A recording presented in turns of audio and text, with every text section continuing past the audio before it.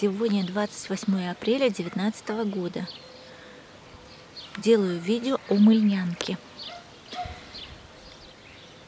Ну, раньше мыльнянка, у нее есть другое латинское там название, не знаю, надо посмотреть.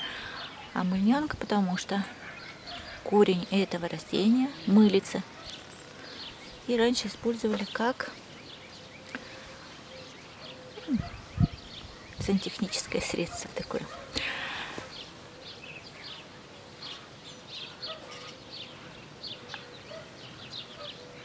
Вот так закрученные листики.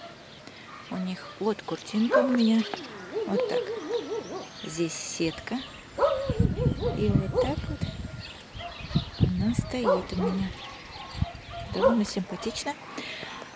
Потом выбрасывается такой стебелек. И в конце образуется такой шарик. Ну, полусфера, можно сказать. Розово белые. Симпатичные, ароматные. И все. Растет само по себе, не требует никакого там агротехники особенной. Один раз посадить и все, а потом только отсаживать, там кому-то дарить или на другие места. Вот так вот. Всех спрашиваю.